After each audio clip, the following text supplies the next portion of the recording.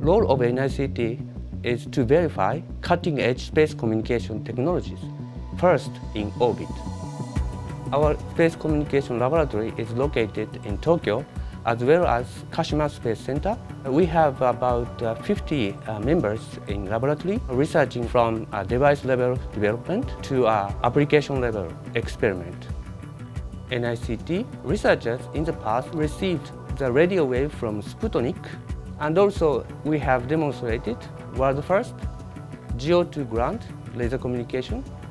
We are researching on space communication technology to realize broadband wireless communication for all users on ground, over the ocean, in the air, as well as in space. Our laboratory would like to promote practical use these kind of novel technologies to the society. WINDS aim is to establish Uh, high-speed satellite communication technologies. WINDS satellite was launched on February 23, 2008 by an H2A rocket from Tanegashima Space Center of JAXA. WINDS project includes a variety of research related to mobile satellite communication, such as mobile earth stations mounted on land, sea, and air. They are automatically detecting and tracking the WINDS satellite for communication during experiment. WINDS transponder has a very wide bandwidth of 1.1 GHz. We succeeded in establishing 3.2 Gbps satellite communication. This data rate is the fastest in the world for satellite communication. WINDS plays an important role in disaster countermeasures. At the time of Great East Japan earthquake of 2011, we provided communication support for the emergency fire assistant team. We developed 5 kilogram class laser communication terminal on board 50 kilogram class microsatellites. It is called SOTA. Small lasercom terminals will be the key to enable high-speed communication for all kinds of satellites. SOTA was the first lasercom terminal on board a microsatellite with less than 6 kilograms of mass. That allowed to mount it on a 50 kilogram class microsatellite called Socrates.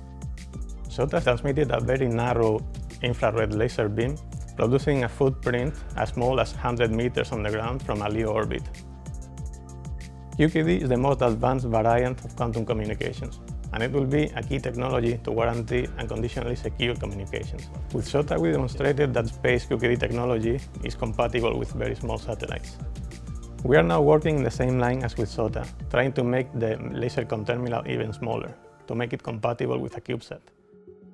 Engineering Test Satellite 9 is world first hybrid high-throughput satellite using optical and RF frequencies. ETS-9 is Japan's test satellite to prove uh, next generation satellite communications technology planned to be launched in 2021. Our role is to prove the 100 megabps class mobile communications for uh, Ka-band and to verify the network control technology to prove the uh, hybrid communication system concept. We also uh, aim to realize the 10 gigabps class optical feeder link technology. Many airlines have started internet access service using satellite communication. As the demand increases, it is necessary to increase the speed and capacity of satellite communications. The flat Ka-band antenna is an active electrically scanned array antenna with a wide range of beam scanning. This antenna can change the aperture size without compromising ease of mounting to aircraft. With our HICALI project, we want to have optical feeder link, which will be 10 gigabit per second, mounted on ETS-9 satellite the biggest challenge for an optical feeder link is the requirement to have real-time communication 24-7.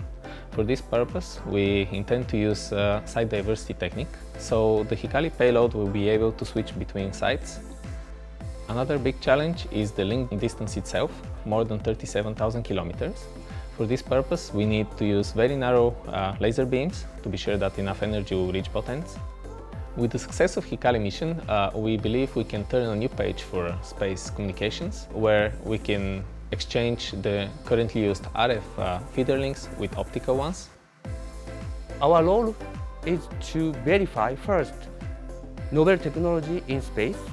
We want to create new broadband communication services to all the users individually by using this technology.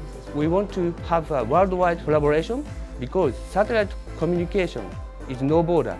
Satellite cover all over the world.